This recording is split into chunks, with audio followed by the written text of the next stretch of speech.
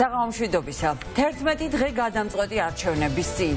ივანიშვილის ხელისუფლება ჩაწერილი ტაში და დაჯავშნული შუშის კაბინეტ ისევ განაგზობს რეგიონებში მოგზაურობას. თუმცა შეშინებული ოლიგარქი გაძლიერებული დაცვით, ძაღლებით, სნაიპერებით არის გარემოცული. ივანიშვილის ბოდიში წახალისებული ედუარდ კოკოიტი კი ისევ ტერიტორიულ პრეტენზიებს უყენებს ჩვენს ქვეყანას.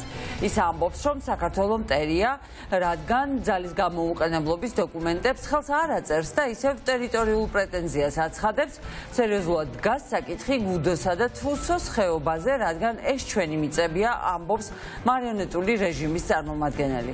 პარალელურად პოლიტიკურ სცენაზე დიმიტრი პესკოვი გამოჩნდა. პუტინის პრესდივანი ამტკიცებს, რომ რუსეთი საქართველოს შიდა საქმეებში არ ჩაერევა. ხოლო ბოლო პერიოდში კი რუსული ინსტრუქციებით მიმავალ ოცნების წევრებში საბჭოური ნოსტალგიები ისევ გაძლიერდა. გუშინ კახა კალაძემ ევროკავშირის საბჭოთა კავშირს შეადარა. რაზეც გერმანიის ელჩმა პეტერ ფიშერმა პირდაპირ დაწერა, რომ ვიღაცამ ავტოგოლი გაიტანა საკუთარ კარში. გერმანია ძალიან აქტიურია დღესაც. ევროკავშირის გენერალურ საქმეთა საბჭოს ხდომაზე, სადაც საქართველოს საკითხს განიხილავენ. საუბარი შეეხება მოახლოებულ არჩევნებსაც. ლუქსემბურგში მიმდინარე დღევანდელი შეხვედრები მოსამზადებელი ეტაპია 17-18 ოქტომბრის ევროკავშირის სამიტის წინ.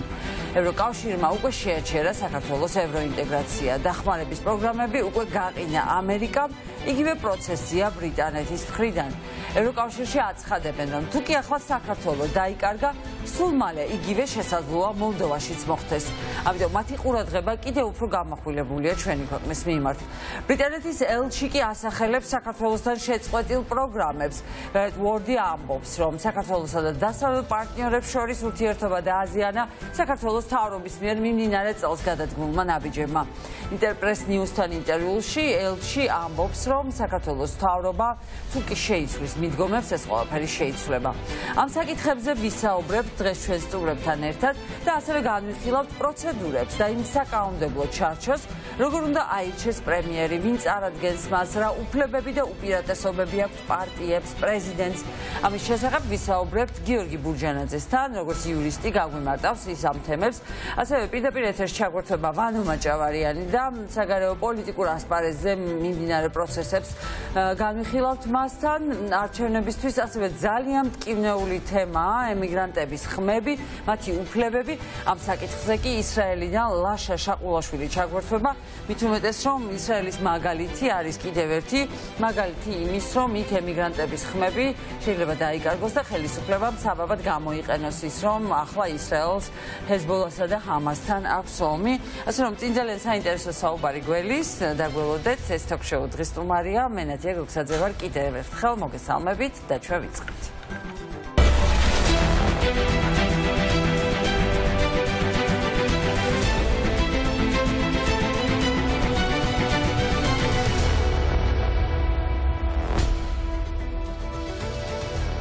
დავიდე დავიწყებთ საუბარს გიორგი ბუჯანაძესთან. მანამდე კიდევ ერთხელ შევახსენებ ჩვენს მაყურებელს, რომ უნდა დარეგისტრირდეთ დამკვირვებლად, იმიტომ რომ ამ გადამწყვეტ და გარდამტეხ არჩევნებში თქვენი თვალი, ყური, თქვენი აქტიურობა ძალიან მნიშვნელოვანია, რომ ხელისუფლებას არ მიცეთ საშუალება манипуляციების, იმის რომ მას კონდეს ცნება, რომ მიიტაცოს არჩევნები.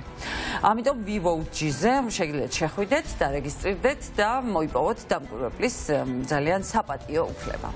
და როგორც უკვე გითხარით, ახლოვდება არჩევნები და ყველა თემა ლეგიტიმური ხდება, ყველას მოლოდინი აქვს, რომ იქნება კოალიციური ხელისუფლება და რა ხდება ამის შემდეგ.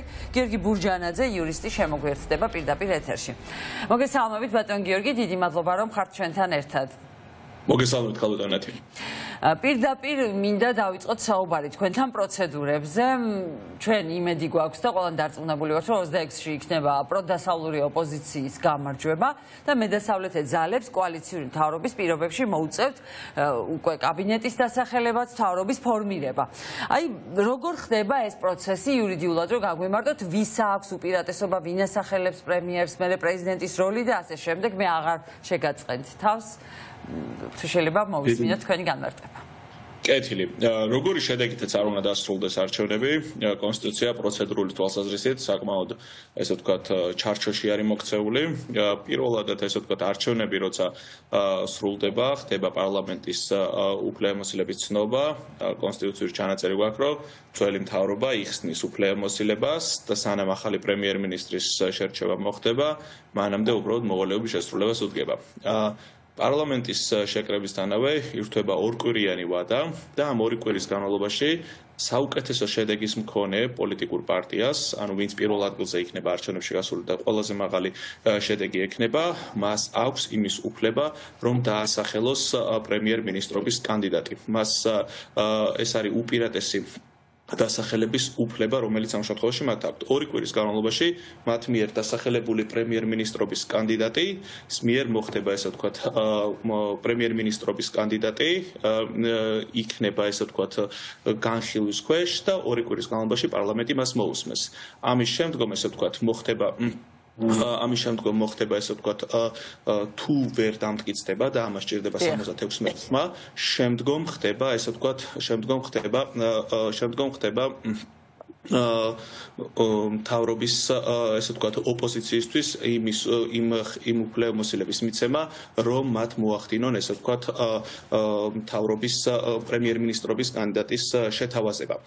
პროცედურულად ესე იგი როგორც ვთქვით ორი კვირა ექნება საუკეთესო შედეგის მქონე კანდიდატს და შემდგომ ესე ვთქვათ ორი კვირის განმავლობაში შემდგომ ორი კვირა ექნება ამ შემთხვევაში ოპოზიციას თუ საუკეთესო შედეგის მქონე პარტია ვერ და მოახდენს პრემიერ-მინისტრის შერჩევას. შედეგი არნიშნავს 50 და მეტი, ხომ? დაუშვათ შეიძლება იყოს 50 ქვევით, მაგრამ ყველაზე მეტი, ხომ? დიახ, საუკეთესო შედეგი ნიშნავს ყველაზე უკეთეს შედეგებს, ვინც მიიღებს ამ შემთხვევაში არჩევნებში. შეიძლება იყოს ეს ოცნებაც, თქვათ. პირველ ადგილზე ვინც გავა, გავა. ის ამ შემთხვევაში იქნება საუკეთესო შედეგის მქონე კანდიდატი და მას ექნება ორკვირიანი ვადა ფორმირებისთვის. და კონსულტაციებს ის ვისთან აწარმოებს ამ შემთხვევაში. სხვა პოლიტიკურ ძალებთან თუ პრეზიდენტთან? ვის წარუდგენს ის? პრეზიდენტს წარუდგენს კანდიდატურას?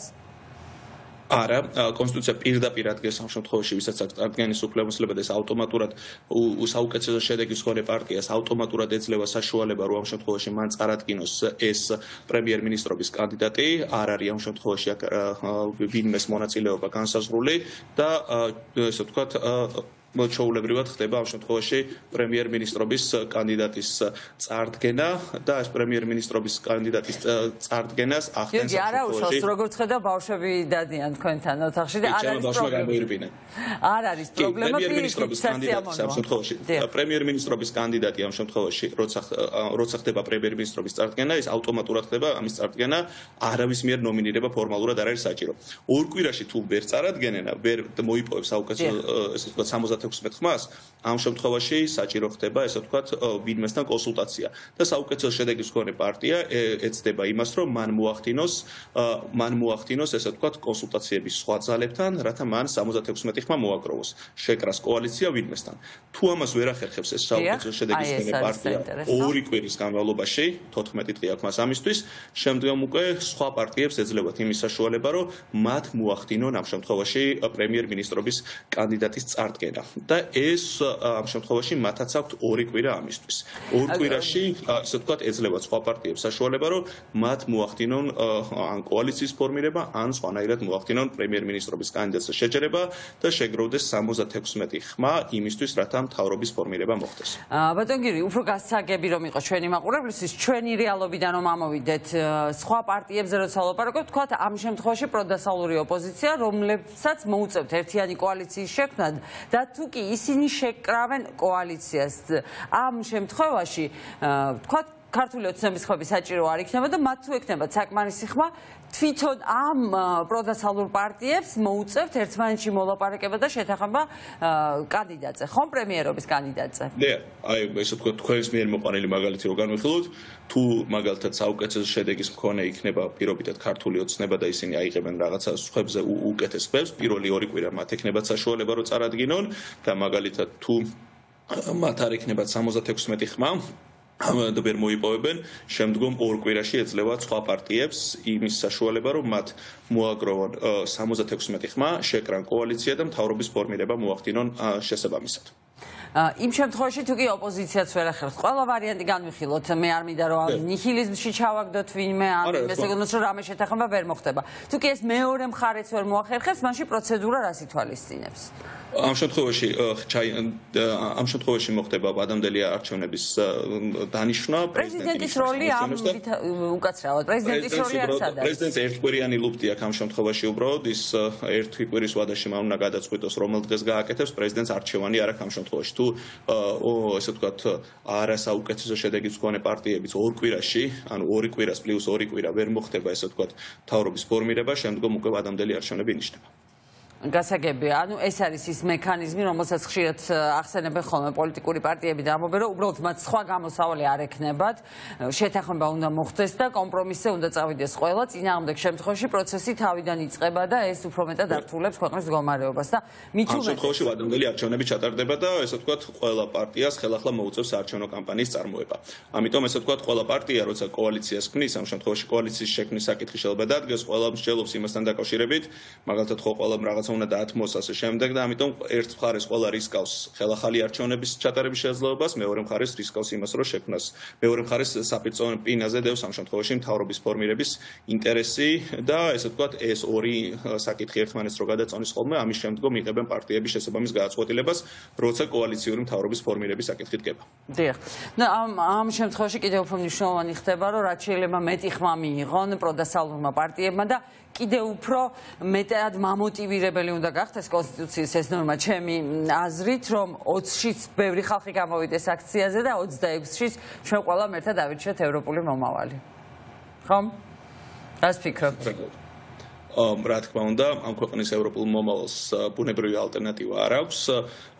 ძალიან მნიშვნელოვანი იქნება, რომ 20 ივნის ბევრი ადამიანი იყოს და აფიქსიროს ევროპული მომავლისადმი მხარდაჭერა და რა თქმა უნდა, მნიშვნელოვანია ყველა ბევრი ადამიანის ყოფნა, რომლისთვისაც ევროკავშირი, საქართველოს დასავლური მომავალი არ არის უბრალოდ ესე ვთქვათ, რაღაც ლიტონის სიტყვები, არამედ არის მნიშვნელოვანი გეზი, მნიშვნელოვანი წინაპირობა და ალბათ ვიტყოდი საქართველოს აუცდენელი, აუცილებლად მიმავალი მიზანი და გზა, რომლისკენაც აუცილებლად მივალთ მალე. ძალიან დიდი მადლობა ბატონ გიორგი, ეს იურიდიული დეტალებიც და იურიდიული ლაბირინთებიც ამ შემთხვევაში საინტერესოა, იმიტომ რომ წინ ეს პროცესი გასავლელი გვაქვს ყოველს ერთად და ჩვენ ეს დაგჭირდება, ყველამ კარგად ვიცით, დარწმუნებული ვარ, პროდასალურ ოპოზიციას მოუწევს ამ თემებზე მსჯელობა. გიორგი ბუჯანაძეს მემშვიდობებით, იურისტი გიორგი ბუჯანაძე გაგვიმარტავდა რა ხდება იმ არჩევნების შემდეგ და როგორ ხდება მთავრობის ფორმირება. მაგრამ მანამდე ჩვენ ხედავთ საერთაშორისო კონტექსტს იმ ვითარებას, რომელიც საქართველოს ირგვლივ არის შექმნილი, ყველა ელოდება არჩევნებს, თუმცა მანამდე კაცრი გაფრთხილებები ისმის ჩვენი პარტნიორების მხრიდან, რომ საქართველოსთან დაკავშირებით ისინი უკვე ჩამოყალიბებული არას იზამენ თუ კი ივანიშვილის რეჟიმი დარჩება, მაგრამ გვაძლევენ დროს.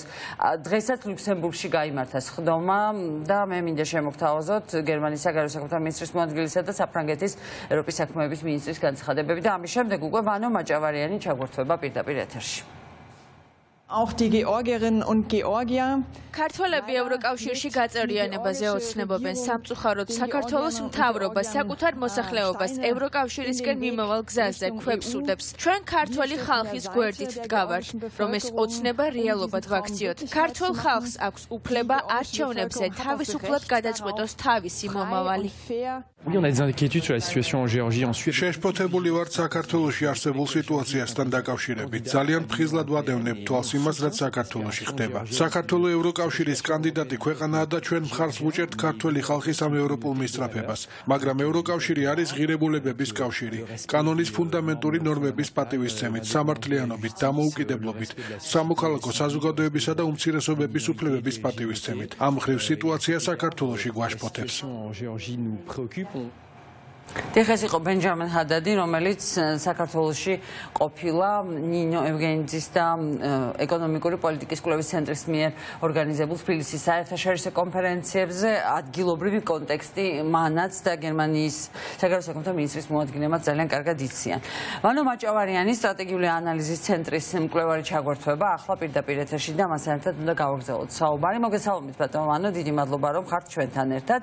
11 დღე რჩება არჩევნებამდე ყოველასთვის გადამწყვეტი მომენტია, ისე როგორც ჩვენთვის მედასავლეთეებისთვის, ასევე ხელისუფლებისთვის, მაგრამ ეს საგარეო წნეხით მინდა თქვენთან საუბარი დავიწყო, რა გავლენას ახდენს ოცნებაზე, აი ეს მინდა გკითხოთ იმ ივანიშვილზე, რომელიც დღეს ზუგდიდში ჩავიდა თავისი შუშის აკვარიუმით თუ კაბინით თუ რასაც დავარქმევთ და 4 დღე ზუგდიდში ხალხის ახში ყავთ ჩაკეტილები და გარეთ არ უშვებენ. აი ამ ტიპის შეშინებულ ოლიგარქთან გვაქვს საქმე, რომელიც ასე ზრუნავს თავის უსაფრთხოებაზე. აი საგარეო ფაქტორები რა გავლენას ახდენს ახლა მასზეც და ოცნებაზე ზოგადად. მოგესალმებით, მოგესალმებით მაყურებელს. ეცეთ არის მათი კომენტარებიდან გამომდინარე თუ ვიმსჯელებთ. აა ვითომ არ ახდენს, მაგრამ ძალიან ნერვიულ კომენტარებს აკეთებენ. ცდებიან ნებისმიერ პოლიტიკურ წესს შეურაცხყოფაზე გადადიან, ღია კონფრონტაციულ ესე თქვა რეჟიმში არიან, ცალსახად ხვდებიან, რომ ყველაფერი მათ წინააღმდეგ არის, თელი ეს ევროკავშირისადმი სვლა, რომელიც არის ქართული ხალხის გადაწყვეტილება, ნება და არის ქართული ოცნება, რომელიც ამას ეწინააღმდეგება და რომელსაც ღიად ფაქტიურად უკვე აცხადებს ჩვენი ევროკავშირის წარმომადგენლების წარმომადგენლები, მოკავშირეები, უკვე ministrების დონეზე არის საუბარი, რომ თავარი და ერთადერთი შეფერხება ამ გზაზე არის ქართული ოცნების გეონდელი პოლიტიკა, გეონდელი ხელისუფლების წარმომადგენლები და იმას გამოთქვამენ, რომ ეს დასრულდება. ახლა ამაზე მეტი პირდაპირ გზავნილი მე მგონი აღარ არსებობს. თუ რამდენად ესე თქვა შეუძლებელია ამ ხელისუფლების პირობებში რამე წინსვლა იყოს პატომა ბორელმაც ისაუბრო ფაქტიურად ეს მოლაპარაკებები არის შეჩერებული ყველა ministri საუბრობს იმაზე რომ არის სერიოზული პრობლემები და ქართულ ოცნებას თითქოს ეს არ ადარდებს მაგრამ ცალსახად მის ლიდერს და რამოდენი ადამიანი რომელიც მის გარშემოა როგორც ჩანს ძალიან კარგად ადარდებს ეს ყველაფერი მაგრამ აი ამ კონფრონტაციულ ბრძოლაში არიან, მაგრამ ჩემთვის დღემდე გაუგებარია რა შეჭirdება ეს ყველაფერი, რა საკეთებს ამით, რა შედეგს აღწევს. როდესაც მიდის არა მარტო ჩვენი პარტნიორების წინააღმდეგ, არამედ საკუთარი ხალხის 85%-ის წინააღმდეგ, მისი ნების წინააღმდეგ, რაც თავისთავად ნიშნავს იმას, რომ რაღაც სერიოზული პრობლემები შეიძლება მოიტანოს ამარჩევნების აღიარებამ. საერთაშორისო თანამეგობრობის მხრიდან და ამ ხრივ ივანიშვილი რა სამზადებს, რა ტრუქს ამზადებს ამ თვალსაზრისით. ეს არის ის, რაზეც ჩვენ ფიქრობთ, არის სერიოზული სტატ სამჟელო, როგორც თქვენ შეიძლება ისე უკრაინის გარე. ხო, აი რა შეიძლება ამზადებდეს მართლაც ეს საინტერესოა ის ხელისუფლება, რომელიც აი ირაკლი კობახიძის განცხადება ახსენეთ თქვენ და მათი რეაქცია ბორელს რომ მიმართა რომ ეს განცხადებები არის დროებითი, ამიტომ განსაკუთრებულ ყურადღებას ჩვენ არ გავამახვილებთ დასრულდება ეს არჩევნები, დასრულდება ომი უკრაინაში და ამის შემდეგ ევროკავშირთან ურთიერთობები გადაიწვირთება. რისი იმედი შეიძლება კონდეს ახლა კობახიძეს და ივანიშვილს, მაშინ როდესაც ევროპიდან პირდაპირ გვეუბნებიან ყოველგვარი შეფარვის გარეშე რომ ივანიშვილთან საქმეს არ დაიჭერენ. ხო აი უყურეთ ჰიპოთეტურად რომ ვიმჯეროთ თეორიულად ხო? გამოდის რომ უბრალოდ ისე უნდა ითამაშოს ივანიშვილმა რაღაც შვიდობის მტრედი ამ შედეგების მიხედვით რომელიც ნებისმიერ შემთხვევაში კოალიციური ხელისუფლებისკენ მიდის. ქართული ოცნები თუ ქართული ოცნების გარეშე იმედია და ნუ თავისთავად ახლა ივანიშვილისთვის ამ ჯგუფთან დამშვიდობება ეგრეთ წოდებული აი ამ ხორებთან დამშვიდობება და მათზე გადაბრალება ყველაფრის გაცილებით იოლი იქნებოდა რომ თვითონ არ იყოს ამაში ყველაფერში ჩართული. მაგრამ მისთვის როგორც ესე თქვა მოთამაშესთვის რომელსაც დასავლეთთან ეს ურთიერთობა ჯერჯერობით არ დაუკეტიათ კარები ამერიკელები იქნებიან ის თუ ევროპელები იმედი აქვთ რომ გონსმოვა ეს ყველაფერი რაღაცა თამაშის და ვაჭრობის ნაწილია სამწუხაროდ ესეა და მაინც ბოლომდე იმედი აქვთ რომ ივანიშვილი არ გადადგოს ნაბიჯ ბელორუსიზაციისკენ ლუკაშენკას როლს არ მოირგებს. რამდენად სამართლიანია რამდენად რეალურია ეს კიდევ თქვა შად სამსჯელოა. და ალბათ საერთო ჯამში მიაჩნია რომ ბოლოს და ბოლოს გაუშვებს ამ ხალხს დააბრალებს ყველაფერს ამ ადამიანებს.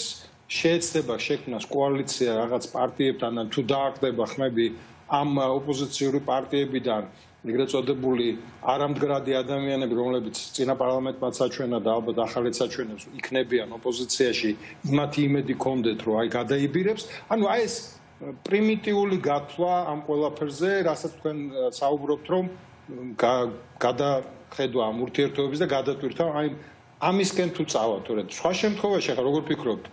ესენი ახლა დაიჯერებენ, რომ ეს ყველაფერი იყოს წინასაარჩევნო თხოლოდ, იმიტომ რომ ამას გაცდენ. ამ ყველაფერს გაცდენ, ყველას გვას გაცდენ და ეხლა უკვე კარგი ბიჭები არიან და იგივეს არ გააკეთებენ, რაც აქამდე გააკეთეს. ეს ხო არ არის მარტო ნათე რიტორიკა, ეს არის პოლიტიკა, ეს არის ევროკავშირი უკვე, აი პრაქტიკა. საბჭოთა კავშირი შეადარა კახაკალაძემ ევროკავშირი. ამის შემდეგ გერმანიის ელჩმა უთხრა რომ საკუთარ კარში გაგაქვს გოლი. კობახიძე ეხმაურება ამის შემდეგ უკვე გერმანიის ელჩთა შეუთვალა რომ ყველა დამარცხდება, ვინც გულშემატკივრობს კოლექტიურ ნაცმოძრაობას. აი ამ ტიპის რიტორიკაში ვართ. კი არა და პოლიტიკა ეს უკვე რიტორიკა. პოლიტიკა, იმიტომ რომ უკვე ეს არ არის რიტორიკა, ეს არის კანონები კონკრეტული, რომელსაც მიგვითითებენ რომ ეს არის ანტიდასავლური და ევროკავშირის გზას და კარებს უკეთავს საქართველოს ეს არის ძალიან კონკრეტული ქმედებები მათ შორის წინა საარჩევნო და მათ საუბარი ემაზე რომ წინა საარჩევნო პერიოდი იქნება თუ არჩევნები უნდა ჩატარდეს იმ ევროპული სტანდარტების მიხედვით როდესაც ქვეყანა ფაქტურად საშუალება ექნება რომ გააგრძელოს ეს ურთიერთობა და ევროკავშირთან და მოლაპარაკების გახსნამდე მივიდეს და ამიტომ საკმაოდ რთულ სიტუაციაში ვარ იმიტომ რომ ხედავთ რომ რიტორიკულად და აი მართლა აი ამ მათი პოზიციებიდან გამომდინარე აჩვენებენ რომ ეს არ ადარდებთ მათ და გეგონება უკვე ევროკავშირში ვართ გეგონება უკვე კონკრეტის როლში ვართ და ვერავინ ვერ ფუფუნება. ხოდამ ფუფუნება და ამას რუსეთის გარდა და არც არავინ არ უკრავს რომელიც ფაქტიურად ხედავს რომ ესე საქართველოს ევროკავშირში კი არა საერთოდ შეიძლება საერთაშორისო არენაზე აღმოჩნდეს იზოლირებული ყველა მიმართულებით არა მარტო ევროკავშირის გზაზე, არამედ საერთაშორისო არენაზე. ჩვენ უბრალოდ არავინ აღარ დაგველაპარაკება და აღმოჩნდებით მართლა ბელორუსის, რუსეთის და იმ ქვეყნების რიგში, რომელიც ანტიდასავლურია და მართლა გზა იქნება მხოლოდ და მხოლოდ ბელორუსიზაციისკენ და ეს ამ სწორედ 26 ოქტომბერმა უნდა აჩვენოს, რომ ქართველი ამომრჩეველი მზად არის იმისთვის რომ თავისი არჩევანი ევროპული დაიცვას, გამოვიდეს ხმამიცეს და ასევე დაანახოს გეონდელ ხელისუფლებას რომ მათი მართლობა ამითი დასრულდა იმითი რომ ფაქტურად კარები დაკეტეს ევროკავშირთან საქართველოს პერსპექტივას. და კიდევ ერთი თემა. ივანიშვილის ბოდიშის ეკო ისევ მოყვება. დღეს კოკოითი კიდევ ერთხელ გამოჩნდა და ახალი ტერიტორიული პრეტენზიები წაგვიყენა.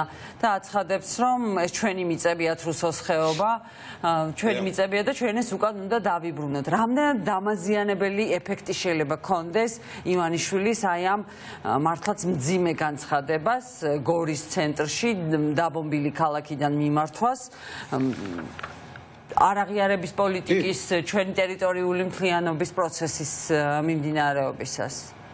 მე ვფიქრობ, აი ისეთ არის, თქვენ ძალიან კარგად მოგესალმებათ, ნათი, არის არჩევნების დროს რაც გარდამტეხი მომენტი. მე ვფიქრობ, რომ ქართულმა ამომრჩეველმა საქართველოს მოქალაქეებმა ძალიან კარგად უნდა გაიაზრონ ბოლომდე, ვინც ვერ გაიაზრა. მე დარწმუნებული ვარ, ძალიან ბევრმა გაიაზრა, რომ ეს გარდამტეხი მომენტი, რომელიც ფაქტობრივად თუ ეჭვიეპარებოდა რამე ფორმით ივანიშვილის აი ამ ესე ვთქვათ სიბრძნეში თუ პოლიტიკის სიბრძნეში და ესე ვთქვათ პატრიოტიზმში აქ სერიოზული კითხვები დაისვა ძალიან ბევრი ადამიანის მიერ და აი ეს განცხადებული პოლიტიკა აი ბოდიში რომელიც ფაქტიურად არაფრის გან არ გამოაცხო და ფაქტიურად საკუთარ ქვეყანას აბრალებს ომის დაწყებას, ომის დანაშაულებებს და გამოძიებას აპირებს ომის და რეჟიმის და ქვეყნის ფაქტობრივად იგივეს ნიშნავს ქვეყნის დასჯას და პროცესს აცხადებს, იმიტომ რომ თუ ნიურნბერგის პროცესს ადარებს, ის ნიურნბერგის პროცესი ჩაატარა საოკუპაციო ჯარმა, საოკუპაციო მთავრობამ. ანუ რუსეთი უნდა შემოვიდეს და რუსეთმა უნდა განსაჯოს ვინ არის მართალი, ვინ არის მტყარი. ამიტომ ფაქტია, რომ მე ვფიქრობ, რომ ადამიანებისთვის ნათელია, რომ ამ ადამიანთან და ამ ხელისუფლებასთან ჩვენ ევროპა ამათან ერთად ევროპასთან ვერ მივალთ და ევროპაში ვერ შევალთ და მე ვფიქრობ, რომ ეს ძალიან დიდი შეცდომა იყო, ვინც კი დაინახა მომხრე იყო თუ მისი წინააღმდეგი არავითარ შემთხვევაში აი ამ ფორმით და რასაც მე ეჭვი მაქვს რომ იგივეს შეეცდება გაიმეოროს ზუგდიდში ნახოთ ერთი რა გამოუვა დღეს აი ამ განცხადებით და ის სამარცხინო ხელის დაშის დაკვრა და ხელის აწევა და მხარდაჭერა მე ძოცნებიდან დავინა დავინახეთ ეს ფიქრობ რომ არის ძალიან ცირე რაოდენობა ადამიანების რომელიც უბრალოდ ცხრებივით მეყვება მას არც კი უყურებს არც კი უსმენს რასაკეთებს ჩაწერილი ტაშებია. დღეს ჩვენ უკვე ნახეთ ჩვენი 6 საათიანი მთავარის გამოშვება სწორედ ამით დაიწყო. სნაიპერები და 4 დღე ადამიანები სახლებში იყვნენ ჩაკეტილები იმისთვის რომ ივანიშვილის უსაფრთხოება უზრუნველყონ ფაქტია რომ ოლიგარქს ძალიან ეშინია და ხალხთან უკვე აი ამ ტიპის დისტანციას იჭერს და ასე დადის თელ საქართველოს თავი შუშის აკვარიუმით დამოგზაურობს. ეს ფაქტია და ამას ხედავთ კი ფაქტია და თან ეს ხო რაღაცა ეს შიშის კიდე ერთხელ ფაქტორი რომ ომი არასტაბილურობა რაღაცა ამ მუდმივად აი ამაზე აპელირება და თან თვითონაც კი ახლა წარმოიდგინეთ როგორ აპირებს მართვას ქვეყნეს ისევ შუშიდან იქნება პარლამენტშიც შუშის კოლბაში უნდა იყოს ცალკე გამოეყოფა შენობა ცალკე გამოეყოფა თუ ანუ რაღაც აბსურდში ვარ ხო? ესეთი დაცვის ესე ვთქვათ საჭიროება თუ არსებობს ქვეყანაში, ესე იგი სერიოზული პრობლემების წინაშე ყოფილა, ასე ქვეყანას ხო ფაქტია რომ ვერ მართავ თუ გაქვს პასუხისგებლობა აღებული და ძალიან სწორად ძალიან ბევრმა მოქალაქე მათ შორის ზუგდიდში იქნებოდა გორში თუ სხვაგან აღნიშნა რომ ეს დისტანცია რაც დაიჭირა ევანიშვილმა ხალხისგან ფაქტიურად არის მართლა ბოლო წვეთი იმისა რომ ის რამდენად დისტანცირებულია და თავს ახლავს თავის პოლიტიკას თავის ერთი ადამიანის ნებას რომელიც კიდევ ერთხელ პირდაპირ ხედავს ხალხი და ამას ამ ევროკავშირის ჩვენი პარტნიორი ქვეყნები პირდაპირ ეს არ არის ევროპული ეს არის ავტორიტარიზმი რუსული სტილის მართლობა ლუკაშენკას როლში ჩადგომა სადაც მხოლოდ მხოლოდ ის ადამიანები ადარდებს რომელიც მისი ელიტის შემადგენელი ნაწილია და ეს არ არის 60% ის 30%-ებში ტრიალი არ ნიშნავს 60%-ის მხარდაჭერას და ეს მან ძალიან კარგად იცის მაგრამ როგორში გადათარგმნეს ამას აი ამ ხარდაჭერაში, გამოცხადებაში, საერთაშორისო ხარდაჭერის აღიარებაში და სამ თვითონ მოქალაქეების აღიარებაში მე ვფიქრობ საკმაოდ რთული პერიოდი გველის ძალიან ფხიზლად და ძალიან მობილიზებულად უნდა იყოს ყველა. უნდაოდ. ძალიან დიდი მადლობა მანომაჭ. ეს დავამატე რაც შეიძლება მეტი კომუნიკაცია ჩვენ საერთაშორისო პარტნიორებთან და მე ვფიქრობ რომ ყველა უკვე ერთ აზრზეა რომ ეს ხელისუფლება არ არის ევროპული ხელისუფლება და ამ ხელისუფლებასთან ნებისმიერი პერსპექტივა ევროპასთან დაახლოების და გაწევრიანების ნულთან არის გატოლებული. ეს არის ის გადაწყვეტილება, რომელიც ქართულ ამუშევა უნდა მიიღოს. უნდა ევროპა თუ უნდა რაღაც პროვინციული რუსული გავლენის კონე ერთი პიროვნების ტერიტორია, რომელსაც უბრალოდ მათ ძალიან ბევრი ადამიანს უბრალოდ გაჩერების საშუალება ან სურვილიც კი არ ექნება. რაღა თქმა უნდა. ძალიან დიდი მადლობა ვანო მაჭავარიანი გვერდთვებოდა პირდაპირ ეთერში სტრატეგიული ანალიზის ცენტრის მკვლევარი და ახლა როგორც გითხარით გადაცემის ბოლოს შემოგვერთდება ლაშა შაყულაშვილი ისრაელიდან ვინაიდან ემიგრანტებს ხმის უფლება მოსაპოვებელი გაუხდათ კიდევ ერთხელ და ისრაელში არის პრობლემები მათ შორის იმასთან დაკავშირებით რომ შეიძლება უბანი გააუქმდეს და ხელისუფლება კარგად იყენებს იმ დაძაბულ მდგომარეობას, რომელიც ახლო აღმოსავლეთშია შექმნილი და ისრაელი ახლა აწარმოებს ომს ჰამასისა და ჰეზბოლას წინააღმდეგ. აქედან გამომდინარე, საქართველოს ხელისუფლების წარმომადგენლებმა ღიად დატოვეს, ცესკომ ღიად დატოვა ეს საკითხი. იყო საუბარი იმაზე, რომ ინსტრუქციები მიეცეს ცენტრალური საარჩევნო კომისიის წარმომადგენლობას იქ ადგილზე, რომ თუ კი გამოცხადდება განგაში დაილუქოს ყუთი ჩავიდნენ თავშესაფარში ამის შემდეგ კი შეძლება შეძლებენ ისინი რომ ამოვიდნენ და გააგრძელონ პროცესი და მოკლედ იქ ბევრი ადამიანი დარეგისტრირდა უკვე საქართველოს მოქალაქეები ძალიან ელოდებიან რომ ამ გადამწყვეტ არჩევნებში მათი თითეული ხმაც იქნება გადამწყვეტი და მონაწილეობას მიიღებენ. ლაშა ჩაკურთვება სულ ცოტა ხანში და რამ მდგომარეობა იქ აუცილებლად მოგვიყვება. მანამდე ერთ შეგახსენებთ ბატონანესთანაც ვაპირებდი ამ თემაზე საუბარს რომ მნიშვნელოვანია თავად ევროკავშირის და ჩვენი დასავლელი პარტნიორების დამოკიდებულება საქართველოს მიმართ რომლებიც ამბობენ პირდაპირ რომ თუ კი დავკარგავთ საქართველოს, მაშინ დავკარგავთ მოლდოვასაც და ეს დამოკიდებულება აღსანიშნავია. როგორც ვიცი, ზადა ალაშა შაყულაშვილი და ჩაგვერთვება ახლა ეს პირდაპირ ეთერში. ლაშა მოგესალმებით. დიდი მადლობა რომ ხართ ჩვენთან ერთად. ლაშა მე როგორ საღამშვიდობისა. ლაშა როგორც ვიცი, 1600-ზე მეტი იყო 2020 წელს ამომრჩეველი, ახლა 2200-ზე მეტია. ანუ აი ამდენი ადამიანი ელოდება ახლა გადაწყვეტილებას. რა მოლოდინი გაქვთ თქვენ? ზოგადად აუცილებლად უნდა აღვნიშნოთ, რომ ბოლო პერიოდის განმავლობაში ისრაელში ქართულენოვანი ემიგრაცია, ქართულენოვანს იმიტომ ვიყენებ, რომ აქ არის ორივე არიან ეთნიკური ქართველებიც და ქართველი ებრაელებიც. ძალიან გააქტიურებული არის, იმიტომ რომ არაერთი ფი არის შექმნილი სოციალურ ქსელში, სადაც ადამიანები წერენ აი ამ საქართველოსში მიმდინარე პროცესებზე ჩვენ არაერთი მშვიდობიანი აქცია გავმართეთ საქართველოს საელჩოსთან, როდესაც საქართველოს პარლამენტი რუსულ კანონს განიხილავდა. შესაბამისად, ინფორმაცია ბევრად უფრო აქტიურად გავრცელდა წელს და უფრო მეტმა ადამიანმა გაიარა რეგისტრაცია. იყო შექმნილი რამდენიმე სპეციალური ჯგუფი და ამ ადამიანებს დიდი მადლობა მინდა უთხრა, რადგანაც მოხალისეობრივად თავისუფალი დროის გამოყენებით იმ მოქალაქეებს დარეგისტრირებაში და საკონსულო აღრიცხვაზე დადგომაში ეხმარებოდნენ, რომლებსაც შეიძლება კომპიუტერი არ ქონდათ ან ესე მარტივი არ იყო მათთვის რეგისტრაციის გავლა.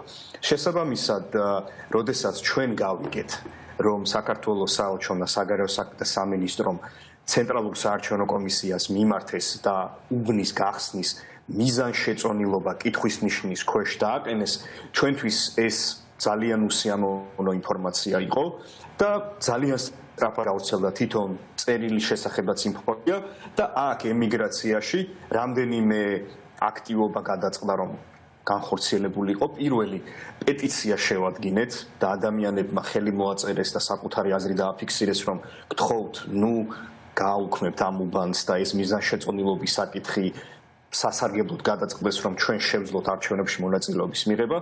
ასევე რამდენიმე ადამიანი პირდაპირ ეთერში ჩაერთო არაერთ ტელეკომპანიას და საკუთარი აზრი დააფიქსირეს და იყო მუდმივი კომუნიკაცია სხვადასხვა პოლიტიკური პარტიების წარმომადგენლებთან, რათა თუ შეიძლება რომ ცენტრალური საარჩევნო კომისიის სხდომაზე ეს საკითხი გასაგებია რომ არ დგას დღის წესრიგში, მაგრამ თუ შეიძლება რომ ჩაერთოს.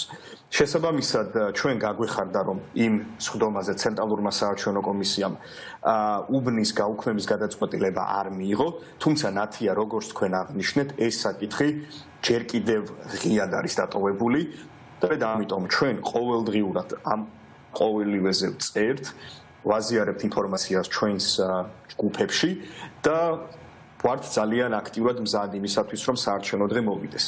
თვითონ უბნის კომისიის წევრებში არიან როგორც საქართველოს მოქალაქეები, ისევე ორმაგი მოქალაქეები, ისრაელის და საქართველოს მოქალაქეები და მე პირადად დავრეგისტრირდი დამკვირვებლად, არის კიდევ რამდენიმე აქტიური ემიგრანტი, რომელმაც ასევე დამკვირვებლობა გადაწყვიტა ამ დღეს და თითოეული ჩვენგანი იქნება ეს კომისიის წევრი თუ დამკვირვებელი თუ ამორჩეველი, უკვე ძალიან დიდი ხანია ამ სახელმწიფოში ვცხოვრობთ. ჩვენ კარგად ვიცით ის თუ რა გამოწვევების წინაშე ისრაელის სახელმწიფო და თვითონ სარაკ კეში იქნება თუ უპილოტო საფრენი მოწყობილობის შემოფრენა ამ ქვეყნის იურისდიქციაში ჩვენ ვიცით როგორც უნდა მოვიქცეთ როგორ შევაფაროთ თავი რამდენი წუთი გვაქვს და ამავდროულად ემიგრაციამ ძალიან აქტიურად იმუშავა იმაზე რომ გაგვერკვია სხვა ქვეყნებმა. იქნება ეს ევროკავშირის წარმომადგენლობა თუ მაგალითად პოლონეთი. მათ როგორ ჩაატარეს არჩევნები ანუ ჩვენ დაავსხედით ამაზე მოვიძიეთ ინფორმაცია დავრეკეთ, შევაწუხეთ ადამიანები, წერილი მივწერეთ და მივიღეთ ინფორმაცია, რომ საქართველოს არ არის ერთადერთი ქვეყანა, რომელმაც 2023 წლის 7 ოქტომბრის ტერორისტული თავდასხმის შემდეგ ამ ქვეყანაში საომარ მდგომარეობაში არჩევნები ჩაატარა და მინდა ყველა ადამიანი, რომელიც აი ამ ჩვენს ეთერს უსმენს და ოდნავ მაინც ეპარება ეჭვი იმაზე, ჩვენ უნდა წაგვართვან არჩევნებში მონაწილეობის უფლება. თუ არა იცოდნენ რომ ჩვენ ძალიან შეიარაღებულები ვართ ინფორმაციით.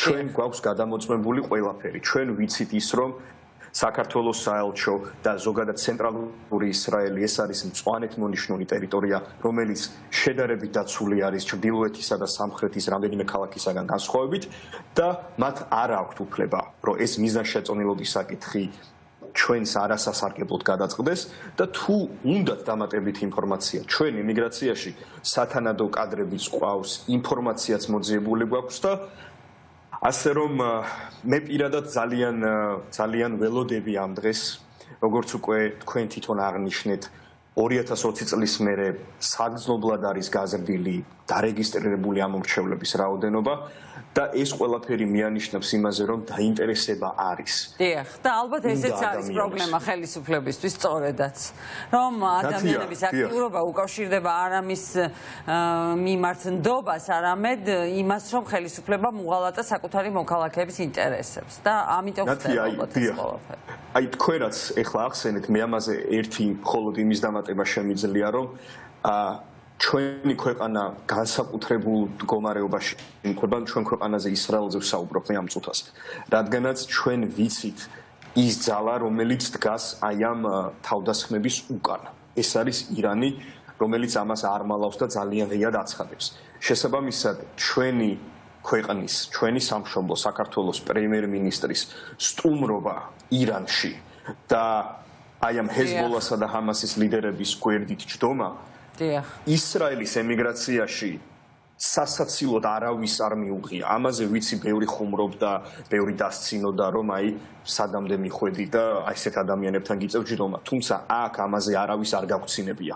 ჩვენთვის ეს იყო ძალიან ძიმე ინფორმაცია, რომელიც აქ ჩვენმა თანამშრომლებმა, მეზობლებმა მეორე დილას მოგვიკითხეს და უბრალოდ შეკითხვა დაგვისვეს რომ ხო კარგად არის ყველაფერი თქვენ ქვეყანაში. აი თქვენი პრემიერ-მინისტრი დავინახეთ რომ თურმე სატირალში იყო ჩასული სამარცხინოა და ყველაზე რბილი სიტყვაა კიდევ საშიში და სახიფათო ეს ყველაფერი. ძალიან საშიში და ძალიან სახიფათო. ამიტომ აი ეს მომენტი საქართველოს პრემიერ-მინისტრის გადაწყვეტილება და ეს ქმედება არ ვიცი ამის უკან კიდევ ვინ იდგა და ვინ დაგეგმა და ვინ მონაწილეობდა თუმცა აქ ამაზე არავის არ გასცინებია და ისრაელში ამ ქმედებაზე არის ძალიან ცალსახად ნეგატიური დამოკიდებულება ემიგრაციაში. როდესაც ამდენი ადამიანი ცხოვრობს აქ და ამდენი საქართველოს მოქალაქეა და ამდენი ეთნიკური ქართველი არის, რომელიც ყოველდღიურად იმყოფება აი ამ სარაკეტო თავდასხმების საფრთხის ქვეშ, განსაკუთრებით მაშინ, როდესაც რამდენიმე რამდენიმე კვირის წინ ილია ნოზაძე მოგვიკლეს თელავივში ტერორისტებმა, რომლებმაც გაჩერებაზე მოკლეს ახალგაზრდა ადამიანი.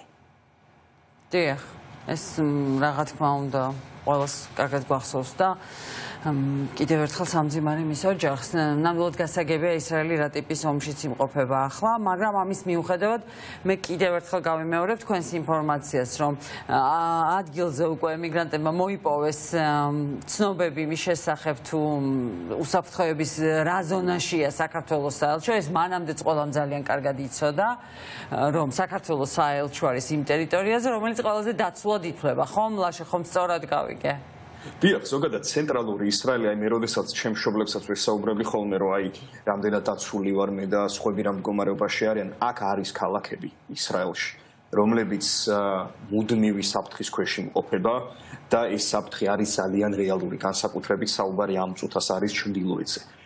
თუმცა ცენტრი ყველაზე მეტად დაცული არის და ზუსტად აი ამ ტერიტორიაზე მდებარეობს საქართველოს საელჩო. და შარშან როგორც ესეთი არც ევაკუაცია გამოცხადებულა, როდესაც ტერორისტული თავდასხმა მოხდა 7 ოქტომბერს და მთელი აი ეს პერიოდი თავშესაფარში გაატარეს ადამიანებმა და არავინ არ იცოდა როგორ გაგრძელდებოდა აქ ცხოვრება და ადამიანებმა რომლებმაც უარი თქვეს სამშობლოში წასვლაზე და აქ გააგრძელეს ცხოვრება და ჩვენ ყოველდღიურად ზოგი ბაღში დადი, ზოგი ასწავლი, ზოგი ბაზარში მიდის, ჩვეულებრივად ვაგრძელებთ ცხოვრებას. ჩვენთვის ცოტა წარმოუდგენელი არის ვიღაცამ რო გვითხრას რომ შეიძლება არჩევნების დღე უსაფრთხო არ იყოს. მაშინ რომელი სხვა დღე არის დაცული? შეიძლება საქართველოსდან ეს ყველაფერი ცოტა სხვანაირად ჩანს მაგრამ ამ ქვეყანაში მისი შექმნის პირველივე დღეებიდან ეს ქვეყანა იმყოფება განადგურების საფრთხის ქვეშ. არაფერი ახალი აქ რაკეტებსა და უპილოტო საფრენ მოწყობილობების დანახვასა და განგას შორის არ არის. ჩვენ ყველამ კარგად ვიცით როგორ მოვიქცეთ. ჩვენ კი არა ნებისმიერი ისრაელის ოჯახში რომ ჩვენმა ზაღლებმა და კატებმაც კი იციან რომ განგაშის ხმა რო ისმის თავშესაფრის ოთახი სად არის და თვითონ მიდიან ხოლმე შინაური ცხოველებიც კი გასაგებია და ერთი შეკითხვა თუ შეიძლება მოკლედ რომ მიპასუხოთ ლაშა ისინი ვინც დარეგისტრირდნენ? ცენტრალური ისრაელი დაცულია მაგრამ ხო არ არიან ისეთი ადამიანები რომლებსაც მოუწევს ძალიან შორი მანძილიდან ჩამოსვლა საფრთხის შემცველი ზონებიდან მაგალითად ხელისუფლებამ რომ ეს საბაბად არ გამოიყენოს. დიახ ნათია რა თქმა უნდა საგარეო საქმეთა სამინისტრომ ყველაზე კარგად იცის ძირითადად ქართულენოვანი მოსახლეობა ისრაელის სახელმწიფოში საცხოვრობს. ეს არ არის ის ქალაქი, სადაც საალჩო არის. ბათიანი, აშდოდი, აშკელონი, ხოლონი, ბერშევა ის ქალაქები, სადაც ქართველები ძალიან ჭიდროდ სახლობენ, იქ საარჩევნო გახსნა არც უფიქრია. შესაბამისად, დიახ, იქნება ბევრი ადამიანი, ბევრი ადამიანი რეგისტრირებული, ვისაც მე პირადად ვიცნობ, რომელსაც რამდენიმე საათი მოუწევს მგზავრობა, რომ ჩამოვიდეს ხმა მიცეს და მე უკან სახლში გაბრუნდეს, ან ჯამში რამდენიმე საათი წასვლა წამოსვლაზე. თუმცა ჩვენ გავაკეთეთ ჯგუფი, ლალიკო ნაცრუშულმა და ანუშკა გორჩხაძემ, სადაც აგროვებთ ინფორმაციას იმაზე თუ ვინ აპირებს ამოსვლას, რათა ეს ადამიანები დავაკავშიროთ მანქანიანებთან, ერთად ჩამოვიდნენ და უკან წავიდნენ. არჩევნების დღე ისრაელში შაბათს ემთხვევა და ამ დღეს საჯარო ტრანსპორტის, საზოგადოებრივი ტრანსპორტის მოძრაობა კანონით იკრძალება. შესაბამისად, ყველას თვითონ მოუწევს ამის მოგვარება და აი ეს ჯგუფი ჩვენ შევადგინეთ, რომ აი შორი მანძილიდან წამოსულ ადამიანებს პრობლემა არ შეექმნათ და ჩამოვიდნენ და უკანაც უსაფრთხოდ გაბრუნდნენ სხვა საქართველოს მოქალაქესთან ერთად. გასაგები არაჩვეულებრივი ინფორმაცია მივიღეთ და კარგი ცნობები ემიგრანტებისთვის, რომლებსაც უნდათ საქართველოს გამოადგენენ და ამ გადამწყვეტ მომენტში მათი ხმა არ დაიკარგოს, რაც მართლაც გმირობის ტოლფასია ახლა. და მე მიხარია, რომ ასეთი სამოქალაქო აქტიურობა, ასეთი სამოქალაქო თვითშეგნების ამაღლება და აი ასეთი ბრძოლა მართლაც იმისთვის, რომ ძალიან გაზრდილი ვართ. ერი ქვეყნის შიგნითაც და ქვეყნის გარეთაც ძალიან გარვილები ვართ როგორც ერი ნამდვილად და ეს აი ეს ორგანიზება ამ საკითხისაც აი ასეთ მაღალ დონეზე ყველა ქვეყანაში საზღვარგარეთ ვინც გვერდება ყველა ამას ყვება და არის ნამდვილად გასახარებელი მისასალმებელი და დიდი ბედნიერებით მინდა აღნიშნო რომ ამის მომსწრო ვართ ესეც უკვე მეტყოლებს იმაზე რომ ჩვენ ვიმსახურებთ 26-ში ავირჩიოთ ღირსეული მომავალი. ლაშა მშვიდობა წარმატებები თქვენ და ასევე გისურვებთ რომ წარმატებულად გაგეხორციელებიოთ სადამკვირვებლო მისია. უბანი რო არ გაუქმდება მე მგონი ხელისუფლება ამას ვერ გაბედავს ახლა. წარმატებები თქვენ ლაშა შაყულაშვილი ებრაისტი გვერდთვებოდა ახლა ისრაელიდან პირდაპირ ეთერში. ჩვენ იმედს ვიწევთ რომ ხელისუფლება ამას არ გააკეთებს და ხალხის ნების წინააღმდეგ არ წავა.